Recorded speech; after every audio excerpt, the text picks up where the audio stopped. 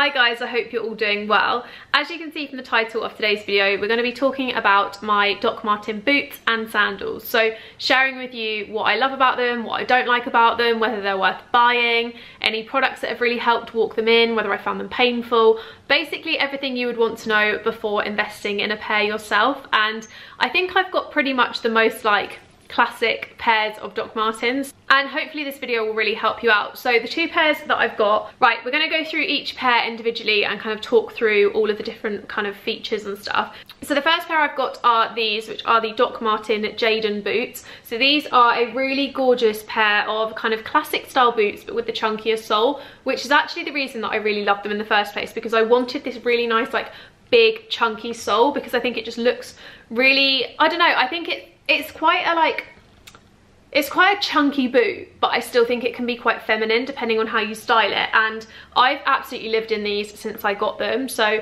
I think I got them back in like I want to say maybe like September to November time last year. I got them kind of just before second lockdown and I was terrified to wear them at first because I'd heard so many stories about how much they hurt to walk in, how they're just agony and I kept them in the box for a couple of weeks because I was so scared to wear them and then eventually I did cave and start wearing them.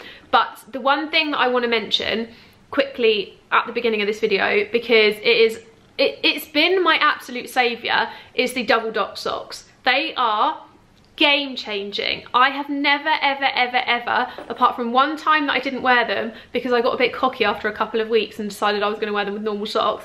I have never had uncomfortable times with these shoes. They have never hurt me, they have never rubbed, I've never had blisters apart from that one time.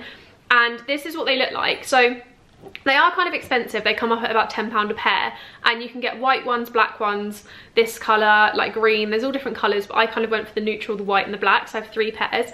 And they're basically double layered socks which are designed to make doc marten boots more comfortable. So inside they've got like a slightly different fabric and the whole point of them is that basically when you wear them the layers like rub together so it rubs on that and not your foot. So over the toes is a little bit thicker. It's got this like ribbed bit on the top. Essentially just every area that it would hurt there's a double layer. So they've been an absolute game changer because my boots have not hurt me at all when I've worn them.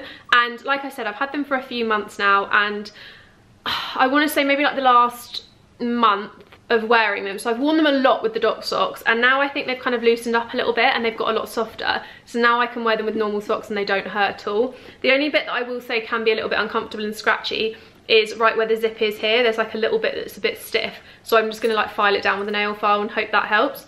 But they are really comfortable boots. The only thing I will say that I found a little bit irritating, which is completely my fault, is that on the one boot, the tongue is slightly to the side, which is just down to the fact that when I've worn them, that's kind of how it's gone and I don't really know how to like train it back again apart from maybe like making it warm and then like molding it again or something.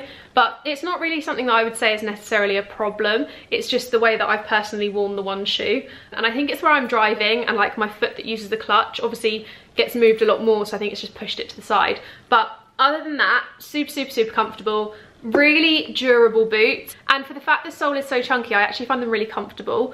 I think they're just I don't know I don't know what it is about them. They're just the comfiest boots and they are honestly the best money I've ever spent. I think they cost me 179 pounds and I would absolutely spend it again. So I'm thinking about getting a potentially like a different colour, maybe like the kind of oxblood colour when it gets to next autumn because I just, I wear them so much it makes sense to buy another pair. But yeah, really, really love these. And just quickly before we go off those onto the sandals, I wanted to mention the protector I use. So I do have, I don't know where for the life of me it has gone, but I have got the little doc protector like wax rub. I don't know where it's gone. I literally had it the other day on the side and it has now disappeared again so I don't know where it is but I also have this one which is a premium protector I got this from I can't remember where I picked it up from but I actually bought it for a suede handbag and it's basically a protector for boots, bags, hats, etc. Basically any fabric and leather. So this is really good for, like I said, suede bags, but also suede boots and leather boots. So you literally just, I mean, I've got a makeup brush that I've never used, and you literally just like dust it on and just like it's really good. So that is a spray. And you just leave it on for a little bit and then you spray it I think twice. I can't remember but it's really good. So I'll leave that link down below along with the Doc Marten one which when I find it I will use on my boots because I bought it at the same time as the Doc socks. Never got around to putting it on the boots and I really need to because I want to protect them and keep them safe and then we have my sandals, which actually was the first thing into my life from Doc Marten. So the boots I bought, like I said, at the end of last year, and these sandals were kindly gifted to me by Office. I want to say maybe like May, April, May time last year, so 2020, and they have been worn a few times outside, but obviously, given the current situation, they haven't been worn as much as they could have been, but I've definitely worn them on at least like nine or 10 occasions that I can remember off the top of my head. So these are the sandals that I've got. These are the Gryphon quad sandals. So again, with the really chunky sole, which you can probably tell by now I love. You can buy the Gryphon sandals without the chunky sole, but they look a little bit different. So I'll leave those linked as well if you're interested. But like I said, these are the quad ones. They've got this really chunky tire-like base of them and it's slightly elevated at the heel, so it gives you a little bit of height.